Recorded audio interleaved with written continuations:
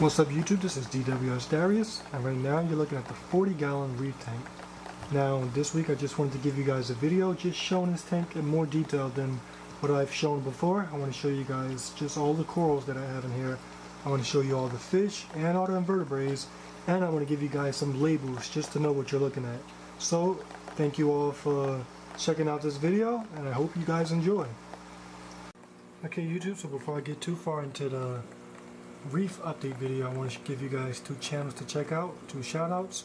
So first off, if you like what you see here, if you love just that natural beauty of African cichlids, you're definitely going to love this channel. And that is the channel of NYC City Cichlids. The link to his channel is above.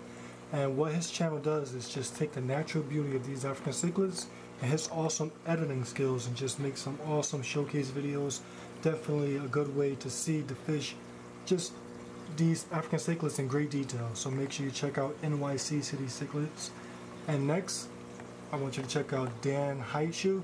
Now, um, this YouTuber is just, he keeps a huge diversity of tanks.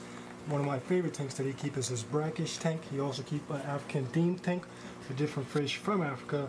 And um, just all of his setups are just very enjoyable to watch. Um, he's very creative in his setups and he really knows his stuff. He does a lot of great detailed videos just informing YouTubers, providing knowledge for us.